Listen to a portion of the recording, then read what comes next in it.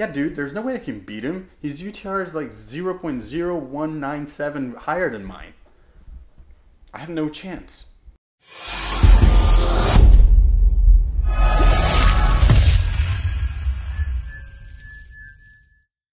What's up everyone? Karue here from My Tennis HQ. Hope you guys are doing great.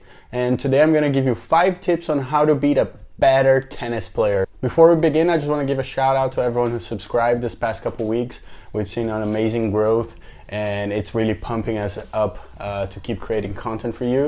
And if you're not subscribed yet, yet, please give a subscribe. It really helps the channel. And if you end up liking the video, please give it a thumbs up. So let's get back to the video. So in this quick video, I just want to touch on the subject of beating someone who's better than you, right? I think a lot of matches are actually won before uh, the match is even played, especially if someone is playing someone who's um, ranked much higher than them. They already kind of get on the court. I, I want to say I don't want to say defeated, but that's that's how pretty much um, tennis goes at, at, all levels, not just at the club or juniors you know, even in the pros. And sometimes the, the level difference is going to be too high that there's nothing really you can do if you're in a situation where you are the lower level player. But there are ways that you can make the match much more competitive than you expected. And that's what I want to show today. Obviously, there are no guarantees. None of these tips are going to make you all of a sudden beat everyone you haven't been beating, uh, but they might give you um, a little bit of an extra chance of doing so. So let's get to them. So tip number one is don't overplay. I think a lot of the times we we get on the court, we're gonna play someone who is you know better than us, and we think that we have to play the best match of our lives. We start going for shots that we really never go for, and we just make more mistakes. We end up making more mistakes, and the person on the other side who's already thought they were gonna win um, they're just kind of looking at you as like, well, this guy's just making a lot of mistakes. I'm going to keep the ball in play, and that's all I, all I have to do. So first tip is don't overplay. Play the game you know how to play. Focus on your side. Don't focus on this guy's better, this and that. And make sure you do the things that you know how to do. Maybe that's that's just you know hitting cross courts. Whatever it is that you have that you can work on, uh, work with um, that day, use it. Don't try to go for broke because that's just not going to work. Unless you play pretty much the match of your life, um, you're probably going to end up losing and losing even more easily because you're doing things that you, you've never done. So keep it simple, don't overplay, and you're to have a better chance at winning. So tip number two is consistency. Okay, obviously, if you're playing someone who's much better than you, they're probably to be a little more consistent than you, but you have to try to make as many balls as you can. Uh, kind of goes with what I just said. Said don't overplay and stay consistent. Make them play a lot. Make them have to hit an extra ball every rally. Yeah, you still might lose 0 and 0, but you make them work for every point and you give yourself more chances of winning, not more games, but more points.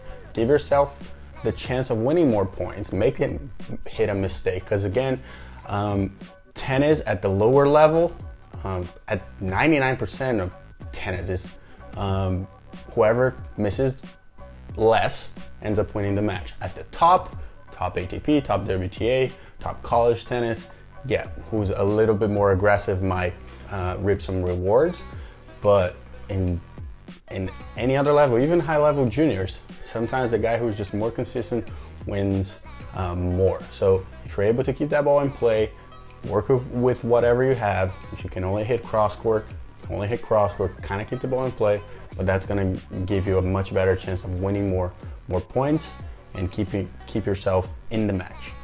Tip number three: look for depth.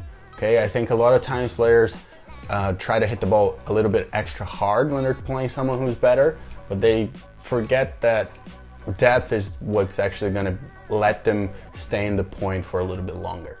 Um, doesn't have to be hard shots as long as they're landing, landing deep uh, you, you, will not allow your opponent to actually control the court and step into the court too much um, if you don't want to be on a defensive position for for too long um, keeping the ball deep it's to help you. Even if you need to moonball it man. If you need to to just find a way to hit the ball deep and not let your opponent kind of take over the court. Because again you're not playing Roger Federer on the other side. You're playing maybe your, your club opponent. Um, you're playing someone around your level uh, who who maybe win an extra match or two compared to you.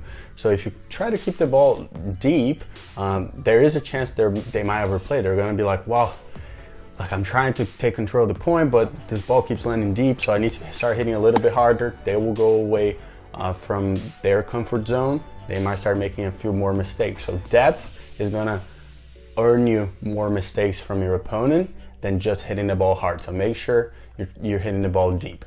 So tip number four, this is a little bit trickier, but try to keep this scoreboard pressure. What I mean by that is sometimes we go play someone who's better than us and we quickly go down a hole 3-0, 4-1, 4-0, whatever it is. And then mentally, the match is kind of gone. Your opponent kind of is comfortable. Uh, you're like, wow, I have. It was already hard to beat him um, from 0-0. Now I'm down 4-0. So you're just kind of like throwing the towel. Um, but if you kind of keep it, you know, if you keep it close, 1-1, 2-2, 3-3, all, all of a sudden they're like, why am I not, why am I not ahead, ahead yet? They don't have that freedom to swing as, uh, as aggressively or as free as they should. And all of a sudden you're kind of like in it. You're not necessarily uh, guaranteed a win, but you know, a couple loose mistakes from your opponent and you might have a break of serve. You might win a set.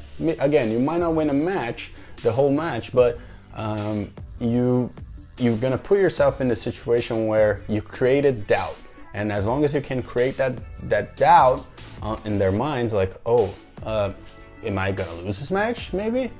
Um, that's that's all you can ask for. Uh, so so again, trying to keep that the match close for as long as possible, even if it's two games. If it's one all and finally you, you get broken, two all, you finally get broken, the guy runs away with it.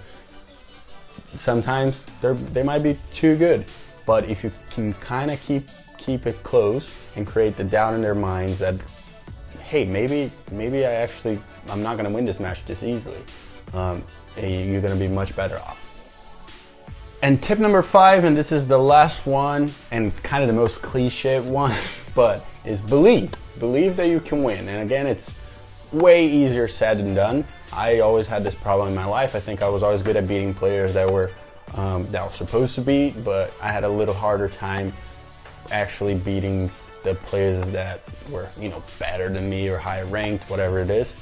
And at the end of the day, we're all players, and the past doesn't matter, the future doesn't matter. It's just the right now. So whatever you can do to believe that helps you believe that you can win is going to be really helpful. Again, there are different levels of tennis. Sometimes you're going to be playing someone who's much higher level than you, especially uh, when you're just beginning tennis and there's not, not really anything you can do. But but if you are, you know, if it's close, if it's that guy that you just like can't get over the hump, something like that, you know, just believe that you can do it. Believe that you can do it. Uh, find a way of doing it. I'm here not here to teach you exactly how to believe. I think everyone um, has their own process. But if you just kind of go into the match thinking that you can do it, um, at least you didn't lose the match before it, it was even played. Okay, so focus on on actually um, getting on the court not fully defeated and making sure that you believe that you can beat any person. So there you have it, guys. These are my five tips on how to give yourself the best chance possible uh, to beat someone who's technically better than you. Obviously, there are no guarantees. Um, none of these tips will guarantee you to beat um, anyone, but they will help you at least give yourself a better chance. Again, remember, don't overplay, try to be consistent, keep the ball deep, okay? Keep the scoreboard pressure for as long as you can, and believe that you can win. That's the most important one. And again, thanks for watching. Um, we've been getting a lot of support from you guys in the comments. Uh, we really appreciate it and it's really pushing us into making even more content for you. If you found this video helpful, please give it a thumbs up. And if you're not subscribed yet to the channel, please subscribe. It really helps us. Visit mytennishq.com. We have a lot of articles there that I think most of you will be interested in reading. And I'll see you guys on the next one.